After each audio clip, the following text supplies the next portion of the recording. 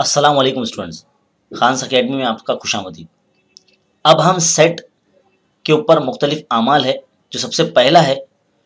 दो सेट का इनकता के बारे में पढ़ेंगे। इनकता क्या होता है? चलिए आइए देखते हैं।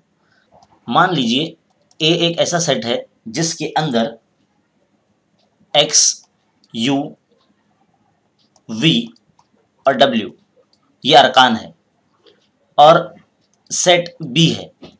सेट बी में एक्स वाई जेड तो हम ए और बी सेट का इनकता, यानी इंटरसेक्शन इस अलामत को इनकता कहते हैं इंटरसेक्शन कहते हैं।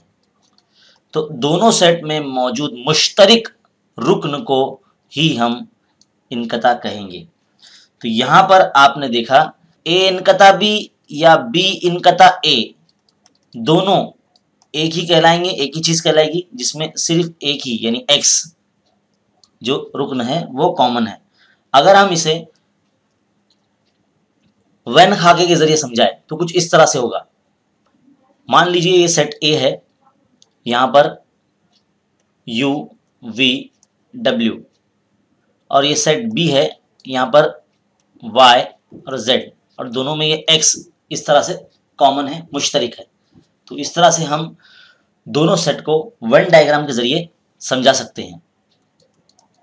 चलिए, एक और मिसाल लेकर देखते हैं। आपको एग्ज़ाम में कुछ इस तरह से बोला जा सकता है।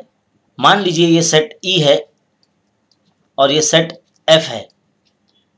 ई e में दो छ और सेट एफ़ में तीन, चार और पाँच। इस तरह से आदत दिए गए हैं।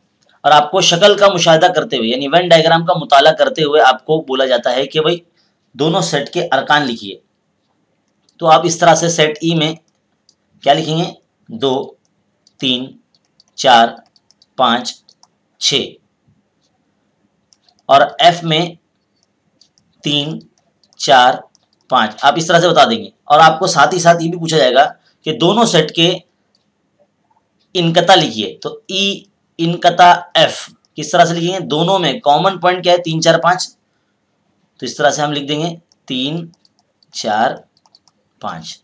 तो ये दो सेट का इनकता इस तरह से लिखा जाता है। तो बहुत ही सिंपल और आसान टॉपिक है। इसका इस्तेमाल आने वाली मश्क में 1.4 में इस्तेमाल होने वाला है। तो उम्मीद है आप बहुत अच्छे तरीके से समझ गए होंगे। ऐसे मजीद वीडियोस के लिए हमारे चैनल पर बने रहिए और देखते रहे खान अकेडमी शुक्रिया।